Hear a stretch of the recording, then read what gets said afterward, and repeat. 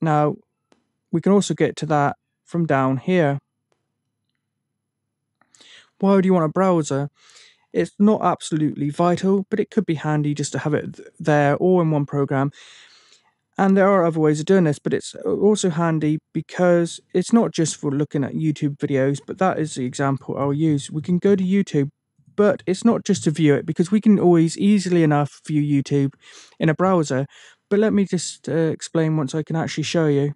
Okay, let's just click on a random video here. Okay, there's a Game of Thrones. It's a teaser, so I'll try not to play too much and give it away.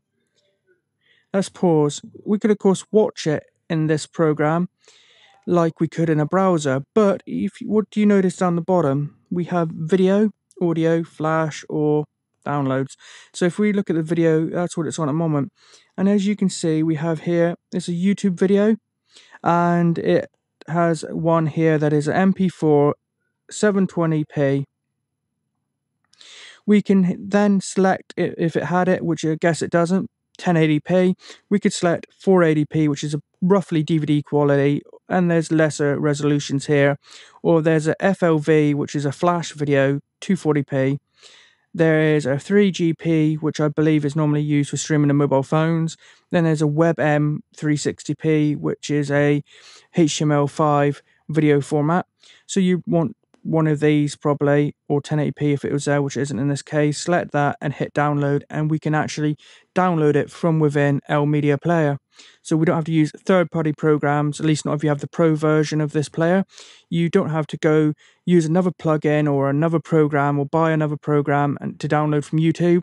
We can download internet videos using this browser built into the media player, which is very handy.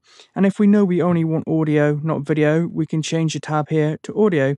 And as you can see, we can then select, do we want to download it in its MP3 version, M4A or WebM? So you probably select this or that one, then hit download. So we can download just the audio of video.